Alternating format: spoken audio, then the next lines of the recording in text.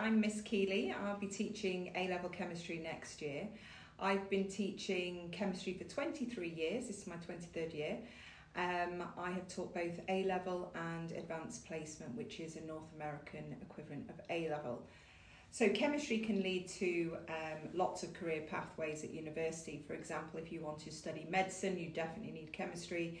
Um, if you want to do dentistry or become a vet, um, also with the chemistry, you can go to chemical engineering, um, you can also go into forensics, and if you do a biology degree, um, chemistry is often a prerequisite for that.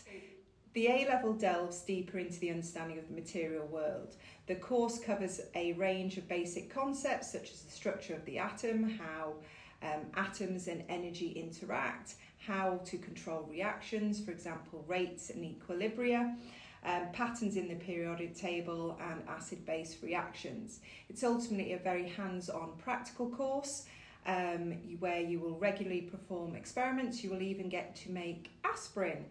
There is no coursework component to this course. There is simply core practicals. Those core practicals um, we will complete throughout the course and they will be revisited in the exam. There are three exam papers that you will take at the end of the course. If you have any further questions, please get in contact with me at Jebel Ali.